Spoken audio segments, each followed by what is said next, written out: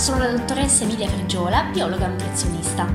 Da alcuni mesi collaboro con il blog Zin Rosmarino News e mensilmente proponiamo alcune mie ricette eh, sane e semplici da preparare, pubblicandole sui nostri canali social. Da oggi abbiamo deciso di pubblicare anche alcuni brevi video in cui risponderò ad alcune domande per soddisfare qualche curiosità e sfatare dei falsi miti relativi al mondo dell'alimentazione.